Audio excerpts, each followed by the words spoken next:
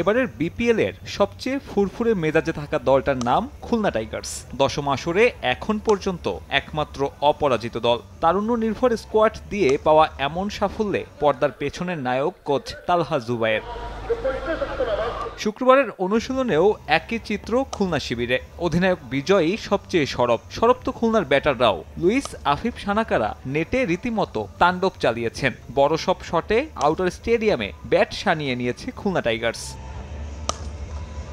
Fortune বরিশালের বিপক্ষে খুলনার একাদশ অপরিবর্তিত থাকার সম্ভাবনাই বেশি। মিরপুরে টুর্নামেন্টে দুদলের প্রথম দেখায় আধিপত্য দেখিয়ে জয় তুলে নিয়েছিল টাইগার্স। ভেনু বদলালেও পুরনো প্রেক্ষাপটটাই নতুন করে লিখতে চাইবে তালহা জুবাইরের শিষ্যরা।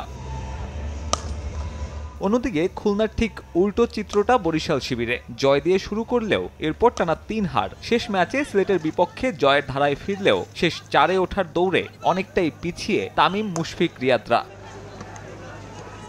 যদিও গুরুত্বপূর্ণ ম্যাচে দলটিতে পুনরায় যোগ দিয়েছেন পাক অলরাউন্ডার শোয়েব মালিক। আনবিটেন খুলনাকে প্রথম হারের স্বাদ দিতে শনিবারের একাদশেও তাকে দেখার সম্ভাবনাটা তীব্র।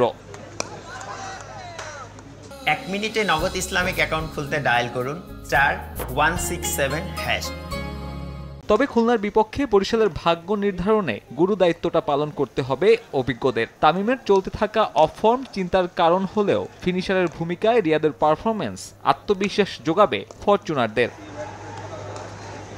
পাশাপাশি দায়িত্ব নিতে হবে মেহেদি হাসান মিরাজের। এবারের বিপিএলে এখনও নামের প্রতি সুবিচার করতে ব্যর্থ এই অলরাউন্ডার। ডেভ হোয়াটমোরের ক্লাসে তাই বিশেষ মনোযোগী এই ক্রিকেটার। শনিবারের ম্যাচটা তাই মিরাজের জন্যও বিশেষ গুরুত্বপূর্ণ। সাব্বির মিথুন সময় সংবাদ।